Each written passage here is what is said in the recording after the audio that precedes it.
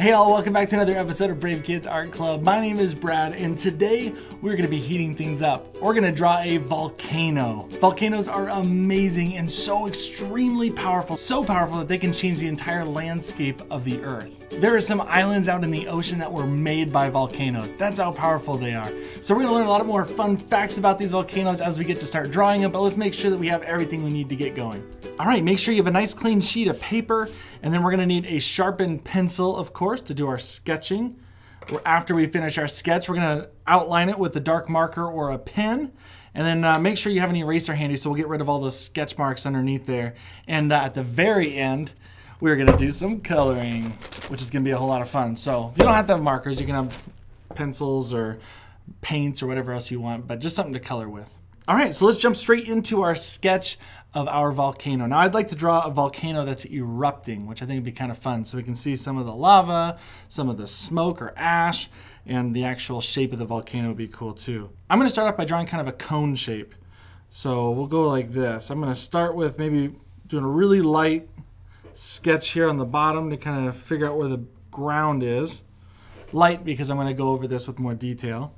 And then I'm gonna do, kind of figure out where the top of this volcano is, and maybe this is where it's at. I want to leave a lot of room up here for the spewing lava and the ash, the big cloud of ash. So then I'll do a little shorter line right about there. Maybe it's even smaller than that. Let's do this. There we are. Even smaller. And then I'm just going to connect my lines here like this. Just connected to the ends. There's four main types of volcano. There's the cinder cone, the composite, the shield, and the lava dome. So the one we're gonna be drawing today is more the composite. You should look it up and see what the different shapes are. But you'll see if you look up composite volcano that this is kind of close to what we're drawing right now. They all have different shapes. Like dome ones are kind of rounded and things like that. But I like the shape of this one, kind of a classic volcano. So we'll do this and then let's start with uh, maybe the the lava coming out the top here. I think that'd be fun. So what I'm gonna do is I'm just gonna kind of go over and kind of do this little goopy lava like that. Kind of like it's runny. And uh, we'll kind of have it go on the side. So kind of do some wavier, wavier lines here and come back. Kind of like how we did uh, like some drips before when we did, I think on our ice cream. What else did we have that was dripping? Oh, like our drippy cheese on our pizza. Things like that. So we're gonna kind of copy that look. And then we're gonna do a little another one maybe right over here. Now it doesn't have to be perfect. This isn't perfect. This is just how I'm drawing it. Draw some little goopy lines coming off of there to show that the lava is running down the side of your volcano. So I'm gonna kind of go like this, maybe a little bit over here, maybe a little bit lower, like that. See, that's how we have our erasers out, and we're using we're using pencils because we may change our mind. I'm going to draw another one over here. So then I'll just kind of go a little goopy. Again, there's no real right way to do this. But yeah, I kind of like how that's looking. So we'll keep that for now, which means we can erase this stuff on the inside. So lava, you know, that's what we, we call it because that's the stuff that we see is the lava. But it's actually called magma when it's inside the volcano, and when it's outside, it's called lava. I didn't know that. I thought they were kind of the same thing. I mean, it is the same thing. It's just called something different for where it's at. okay, next up, we need to kind of shape our mountainside here, our volcano's side.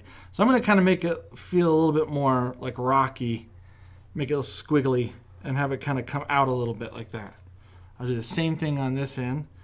Kind of come down, maybe flare out just a little bit at the bottom. And then Here's a little trick to make it look like it's kind of freestanding out here. We're just gonna draw a few lines coming down the sides of our volcano. So there's no real right way to do this, like I said. So let's have one, maybe draw one a little bit longer over there. We'll draw one that kind of comes down to about there. Another shorter one. Another one over here. Just kind of draw some random lines coming down here. This is your mountain, so you draw it however you'd like to. I like that. I got a few little lines in there. Okay, now what we're gonna do here at the bottom is we're gonna start connecting some of these lines, but we're just gonna make, some of them are longer than others, and this is the reason why. So I'm gonna kind of go like that, let this be a little bit longer, and I'm gonna do the same thing. I'm gonna kind of roll that one back and then connect it to this line right here. We'll just connect those. And then I'm gonna bring it up a little bit so it looks like it's not all in the same, that some are further back and some are closer up. It kind of gives a little more variation and texture to our, to our mountainside. So I'll do a line right there, maybe another one right over here, but shorten it up a little bit and maybe one more shorter. There you go. That's pretty cool, huh? So now it doesn't look just completely flat, it looks a little bit dimensional. That's what happens when you overlap shapes or make some bigger than others. You can start making things look like they're 3D, like they're not completely flat. All right, so now we got the base of our volcano. Now we need to start making this stuff spewing out the top with the magma turning into lava as it shoots out. So we're gonna do a little bit of this. Do a little curve out here. A little curve and then just kind of bring it back in here. And then we're gonna do another little curve on the inside and have that kind of shoot out over there. And just keep doing that. You see what I'm doing here? I'm just kind of making these little splashes of lava. I'm kind of keeping it all kind of flowy and curvy. Let all the, the curves flow right into the next one and it makes it feel more organic and real. Okay, so we drew the lava spewing out the top, but how does that happen? How do volcanoes happen? Basically, volcanoes are just holes in the earth. Our earth is made up of layers, different layers. We're on the crust, which is the outside. So you have the dirt, and then underneath that's rock. And if you get closer and closer to the center of the earth, it gets hotter and hotter. And those rocks even melt and they turn into magma. So that's where that is. That magma underneath there is getting really hot and restless. And sometimes there's pressure built up in there. They get pressure bubbles when it gets really thick. And there's nowhere for it to go, so it has to go out. And so there's places on the earth where they have vents or little holes in the earth, and that's volcanoes. And that's where the magma gets to shoot itself out, just like if you had a soda soda bottle and you were to shake it real hard before you took the lid off, what would happen? That's right, it would just go and shoot everywhere. Have you seen those people who do Mentos and Coke? Same type of thing. All that pressure builds up and shoots out, and that's what a volcano is. So that's what we're drawing here. An explosion of all this magma turning into lava and having all this ash and smoke coming out. So that's what I want to draw right up here. So I'm going to kind of have a, I think the next step is to kind of do some of these little pillowy ash clouds. A little plume of ash coming out here first. Or a pillar of ash, I should say. Kind of something like that. And it's going to be shooting out. And then we're going to do maybe another one kind of getting a little bit bigger. Another one over here getting a little bit bigger. And now we're gonna draw a bunch of these on the outside to make the outside shape of our ash cloud. So I'm gonna start maybe, I'll start like right over here. Gonna start with a big circle, kind of a, almost a circle, and I'll stop. And then I'll start doing some different sizes. Do some smaller ones, some bigger ones. And then I'm just gonna run that all the way to about there. And I'm gonna keep doing that. And you can kind of vary up the size of them or the shape of them how wide it is.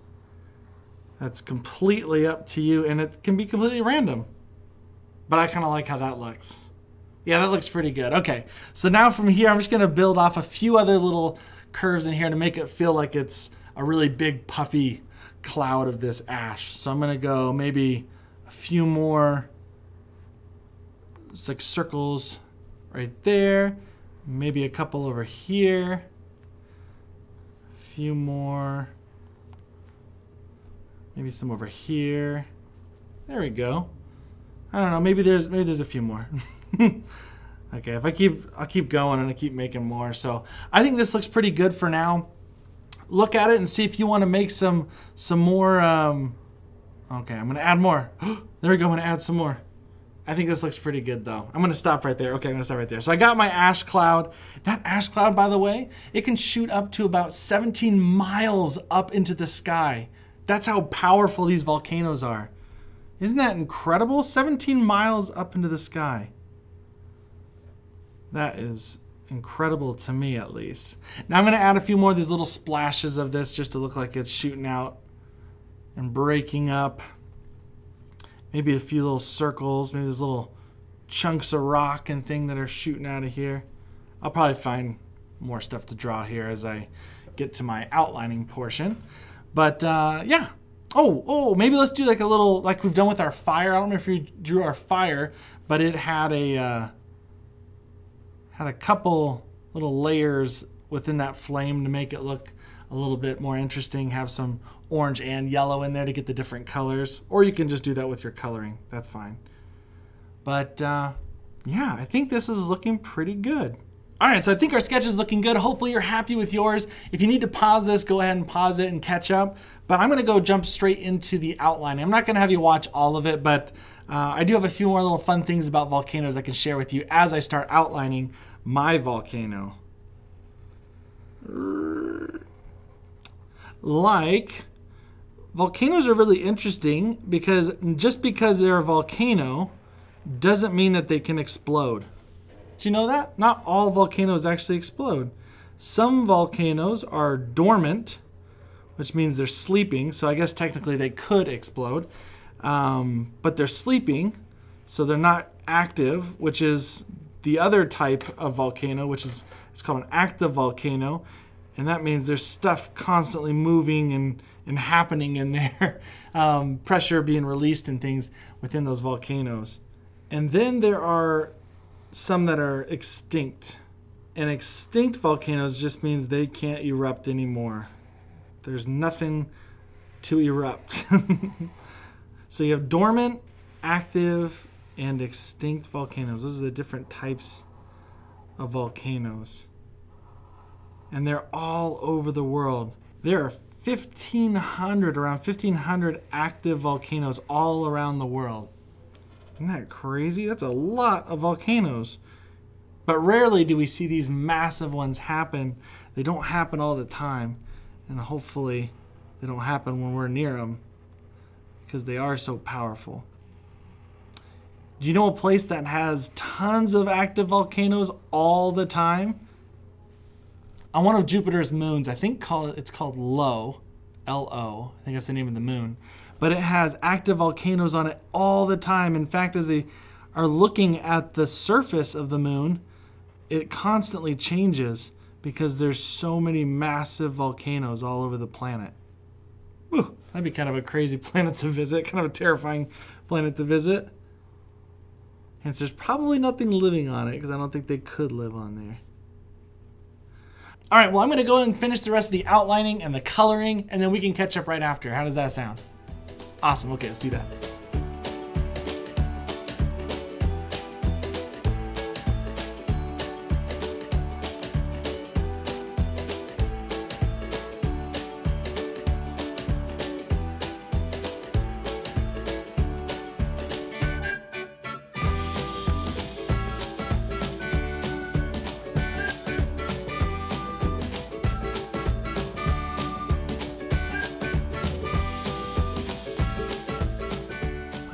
I just have a few little dots left to add in here and I should be finished.